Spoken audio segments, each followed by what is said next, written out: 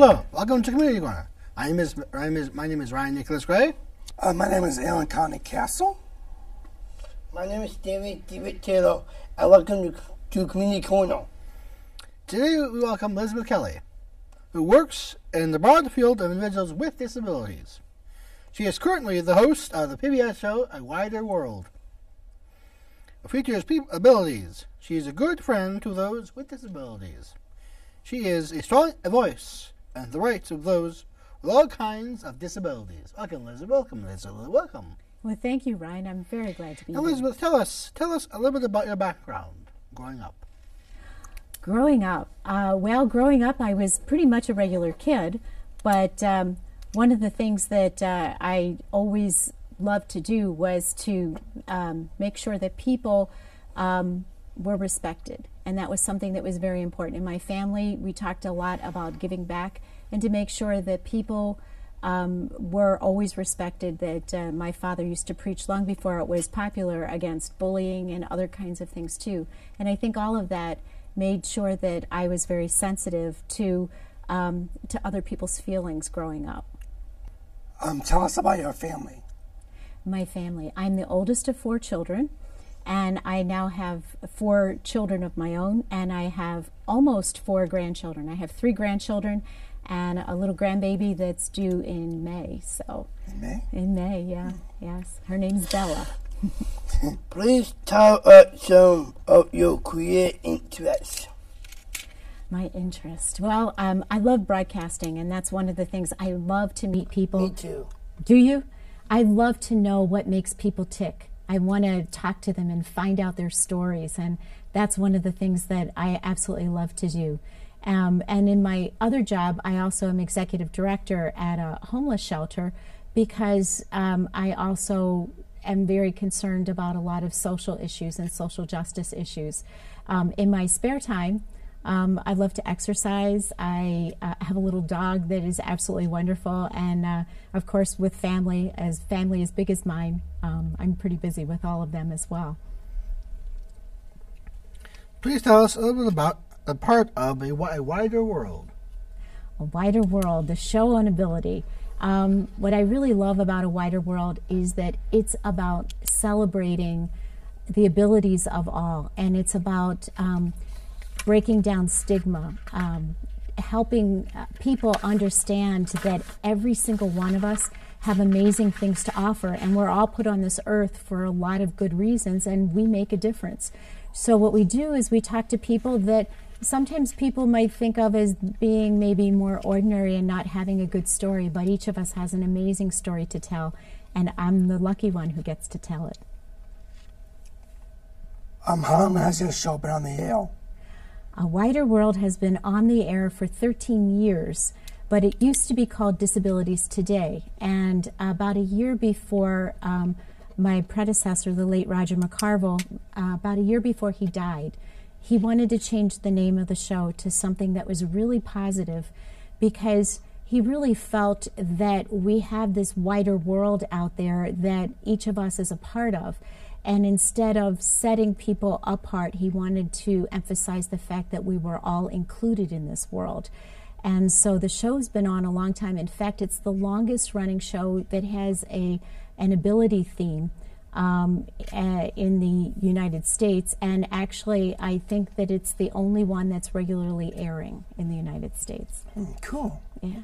Where and when does a wider world air? Here in the Detroit area, A Wider World airs on Tuesdays at 5:30 on Channel 56, the PBS station locally. And then it's in about 45 markets in the United States, airs throughout Michigan except Grand Rapids. It's the only PBS station that doesn't air it. And it's also seen in Canada, Scandinavia, uh, and the Virgin Islands, like kind of random places, but uh, just depends on who picks up the satellite feed. Okay. Wow. T- tell us about some places. Some places. Tell us about the places at PBS airs your show.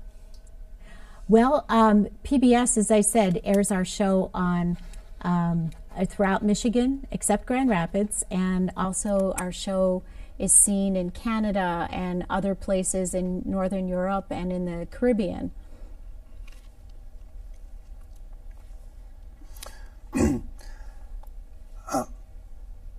Um, how did the show get started? The show was started because Roger McCarville, um, he used to be on a show called Michigan Out of Doors, which was a hunting show on PBS, Okay. a hunting and fishing show. And um, he uh, did a segment on it called Outdoors Forever, which was to encourage people that might have physical disabilities um, to get out and hunt. He said you might not be able to stay get into a tree stand, but you could still. Um, there are ways that you could modify um, the access to things that you would use for hunting or fishing, um, boats that had that were accessible for people with disabilities. And he became very interested in broadcasting, and he realized that there was no um, no way that people could hear on a regular basis all the amazing things that people do. And so, what he wanted was to have a show that people could watch that would break down stigma, that would celebrate all the things that uh, that each and every one of us do. So that was how we ended up um, with Disabilities Today, which then became a wider world. Okay. Why is a show like a wider world is important? Wow. Well, a wider world is very important because people really need to know what um, what uh, people can do, and they need not to judge people based on how they look or based on what they might say, based on uh, what school they go to or what jobs they do. Um, it's about making sure that when when we meet someone, that we don't have a preconceived notion about them, that we take a look and we see people that are entrepreneurs, people that are broadcasters like all of you, um, people that are um, business people, people that uh, that um, that work in all kinds of areas, people that are students, and to see to be surprised and amazed at all of the things that people can do. Tell me, tell me, Elizabeth, what is your favorite thing about hosting a, a wider world? my favorite thing about hosting a wider world. I I truly love um, the people. I love the the people that I work with, and I love the fact that, as you know, when you go someplace with a camera, a lot of times you get people to talk to you, and maybe you meet people that you wouldn't normally meet in your everyday life. And um, I go and ask them lots of questions, but I ask them questions about what it is that they do. And at first, people will say, "Well, I'm not that important. But then we find out that they people truly are important and they realize that they have a story to tell. And I guess one of my favorite things is when I'm writing the editing scripts after I've interviewed people and I sit there and I look back on all the things that they said. It's so much fun because um, their voice tells something that people didn't know before. And I really love that whole process. Uh, what is the biggest barrier that your show faces? The biggest barrier that our show faces, Aaron, is um, is the fact that it's hard to get the show on uh, in all the PBS markets because we don't have a big budget. You know, all of us do the show, but uh, we do it for love rather than money. Okay. Um, including the people who produce the, the show, who do the editing, the camera work. I mean, we drive a lot of places to do stories. Um, you know, when Roger did the show, he did it. He went to China, he went to Greece. I mean, he was all over the place. I know, it was amazing. Mm-hmm. The farthest I've gone is Denver, but we still get to do all those things. But the funding is always hard to get enough funding to be able to do the show justice and then to be able to get it on. I mean, I really believe that all the PBS stations should carry it because in the places where it airs, people really like the show. Um, we have a Facebook site, and people post all kinds of things on our Facebook site, um, you know, about the show. People email me about, um, even when I'm not in, in, an area, if they watch our YouTube clips, they also will post um, um, their thoughts about uh, something that we um, that we're doing on the show, and we want to make people think. So uh, our biggest barrier is that I would love to see it uh, throughout the United States, but we have to have more money before we can campaign with PBS as a whole right now it's just, as I said, about 45 markets are picking it up, which is a lot more. When Roger was doing the show, was about 20 markets. Okay. So we've been growing, but we're growing because I'm calling them up and saying, "Here, take a look at our show," and uh, trying to get them to put it on. So Yeah. How has your show incorporated social media into its mission? Wow. Well, social media, as you all know, I heard you talking about Facebook before we went on the air. And um, social media is really very important because it's a great way for all of us to stay connected. So we uh, we're a poor show, so we don't have our own website, but we have our own Facebook site. And through Facebook, we're connected to our viewers. Um, we also use YouTube, which is a free site, but we post some of our past shows on YouTube. Um, and that has been a great success because we've had people actually write into PBS stations in their location and say, why, why don't we have a wider world on our PBS station? That leads to my other question I do for the same. Me and my two friends are on Facebook a lot. How can we get in contact with your mission statement? Wait, Do you want to send me a friend request? Yeah. Okay, send me a friend request, and um, and I definitely will. We'd love to have you join us and join our conversation. Okay. Thank you. That'd be great. Yeah, that'd be cool. So, how has social media like YouTube changed the relationship between the wider world and its viewers? Well, it's actually made it become more intimate because a lot of times people watch a TV show and they go, "Oh, I like the show," or "I didn't like the show." But they don't bother telling you because they either have to pick up the phone or they might have to go and email you and they have to find your email address. But on social media, on YouTube, they watch the show and then what they do is they they'll immediately type in a comment and so we get some good feedback from people who tell us if we're on the right track or on the wrong track Um, have you ever had a video go viral? on youtube? Yeah, Yeah. we did. That was the coolest thing. We did a story on uh, the on the lupus alliance on a young woman who has lupus. And um, she was really really sick with lupus but gradually began to get better but she became a great spokesperson. And what we found was there are a lot of people out there with lupus who have no idea what to do. They're disconnected. They don't know other people with lupus. They feel isolated like they're the only one. So one day I got a call from the executive producer and he said, There's something wrong with our YouTube site. I said, What's the matter with it? He goes, The numbers are going up really fast. He goes, It's just going crazy. It's just all over the place. so anyway, then he got a call from YouTube and they actually made us prove that it was our video because uh, it also got tagged with a, a, um, a rapper named Snoop Dogg. And Snoop Dogg has a daughter who has lupus. And so when they interviewed him about lupus, they found the Black Entertainment Television found our video about lupus and then they married them. They put the two videos together. Oh, that's cool. And so it was really cool. So that particular video, we it, like in a span of um, about maybe an hour and a half, we had like fifty thousand hits, and uh, so that was, and we still continue. That still uh, is by far and away our most popular video because of what I had mentioned. Because there's not a lot of information out about that. Um, I need to get the link for that. Me oh yeah, too. definitely. I'll give you the link for the YouTube. Actually, I can tell you it's Okay. youtube.com Yep. forward slash a wider world. And then you'll see the you'll see all of the videos all the different stories that we've been doing. Okay. Uh, that's the wonderful thing about YouTube. isn't it?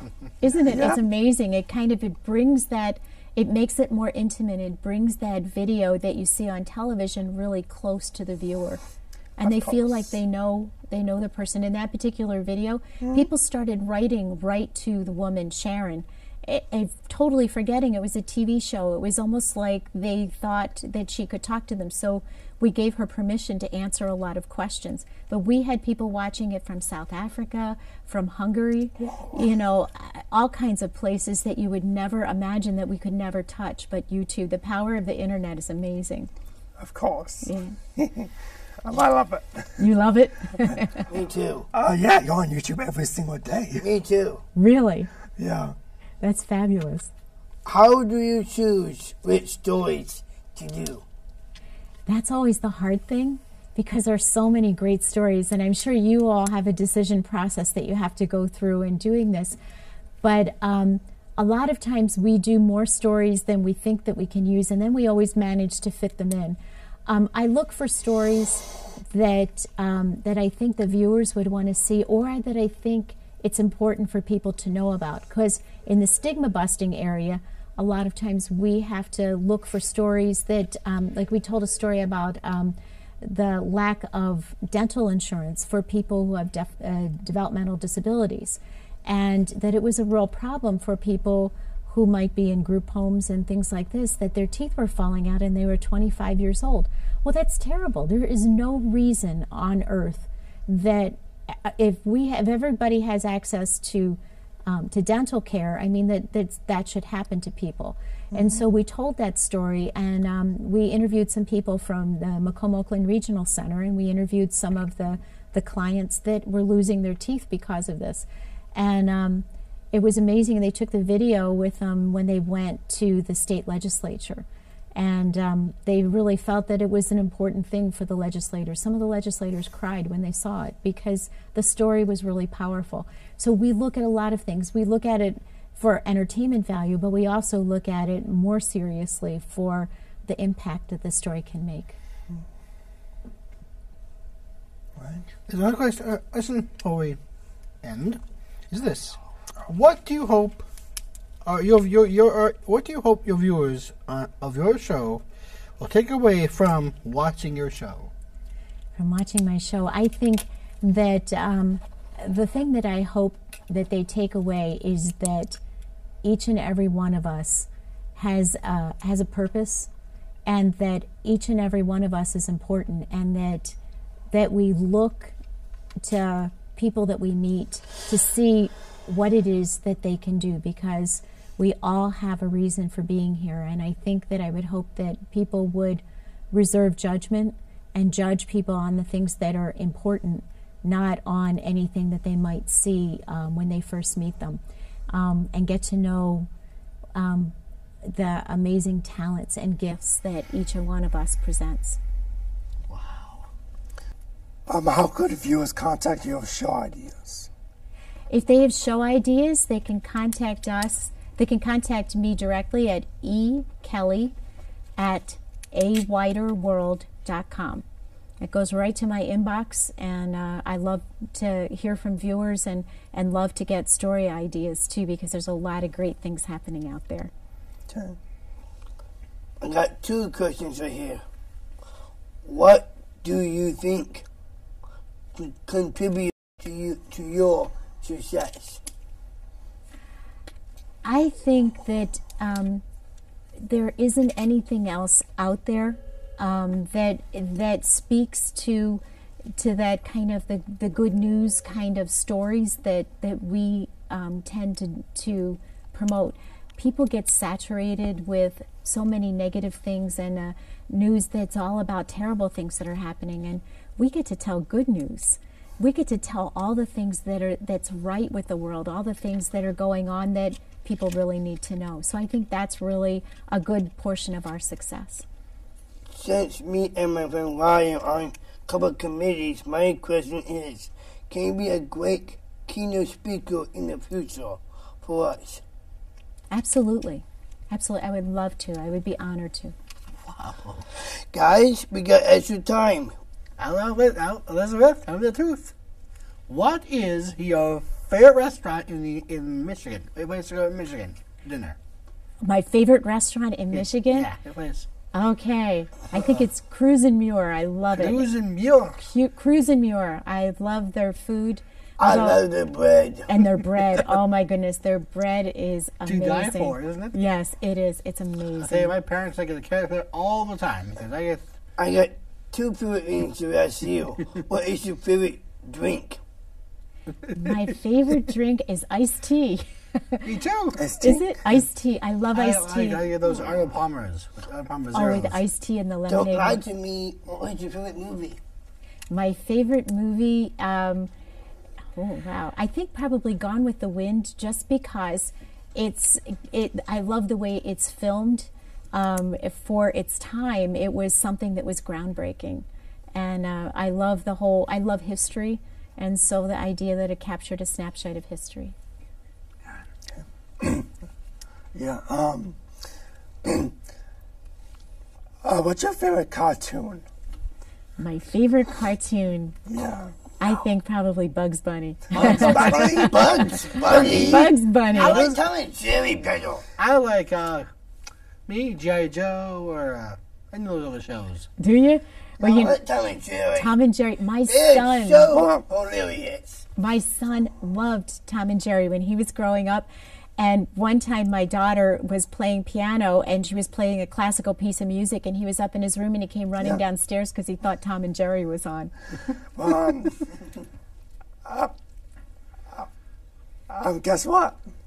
But Um. Tom and Jerry and Bugs Bunny are back on TV. are they really? Really? Uh, yeah. When? On Cartoon Network, Tom and Jerry's on at eight. Um. Tom and Jerry's on at one, and Bugs Bunny is on at twelve. Oh wow! What Morning station? or afternoon?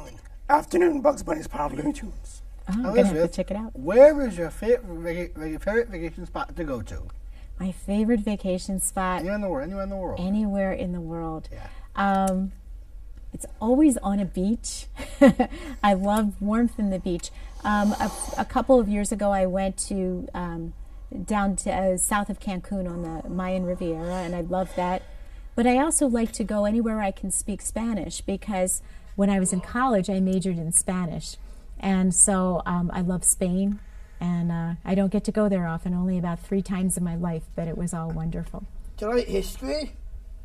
Pardon? Do you love history? I love history. What is your all-time favorite luxury ocean liner? Luxury ocean liner. Oh, like the Titanic. well, um, probably, I've never been on it, but I've heard that the QE2 is beautiful. Oh, the QE2. I'm dying to see if we. I'm dying to see a real ship Poseidon in the future. Uh, I've been on a cruise, Oh, that would be and cool. um, the ships are amazing. The kinds of things that they have. I mean, you know, and you get rocked to sleep every night. You just get this very gentle rocking going on. It's beautiful. Yeah. Uh, what's your favorite computer? My favorite computer? Uh-huh. Uh, I have a Dell. Dell? yeah. awesome. I have a laptop, a Dell. You have too. a, yeah, I have a laptop Dell, so Yep. it's a good one. What is your favorite computer game? My favorite computer game. See, I'm really bad at computer games. My grandkids have actually forbidden me to play them because they say you're really bad at them, Nana. So I'm I'm bad. I know they call me Nana. I'm bad at computer games. So I mostly watch. Um, my husband has one that's called uh, it's uh, it's about fishing. And Yeah. so he likes to do that. He loves to fish. and so he has a fishing game. So I do play that with him sometimes, but he still beats me. So When I was young, I loved computer games. did you? Yeah, I like Battleship. I like Clue. don't- Indiana Jones. Oh, those are Don't good. forget, um, um, uh, um, a game they played a lot when I was over was one of the Rodas Carmen Sandiego Oh yeah, I can't forget that game. and Titanic. David, would you please closer? Would you please closer? Sure, please? Mr. Ray. Thank you, Elizabeth, for being our guest today. You have shared a lot of personal information and told us how you have chosen to live your life and help inform others about those with disabilities. Your career examples gives others hope and encouragement and helps educate the public with to higher levels of thought and conduct regarding those with challenges. She she is well known as an advocate. It's wonderful getting to know you, and we appreciate you coming today to visit with us. Thank you, Elizabeth Kelly. Thank you so much for having me. One, I'm Ryan Nicholas Gray. My two friends here, and then they are. Uh, my name is Alan. Uh, my name is Alan Conley Castle. Thanks for being a guest and to me, Conley. And I'm David DeWitt Taylor. To all you may. Ciao. Sound.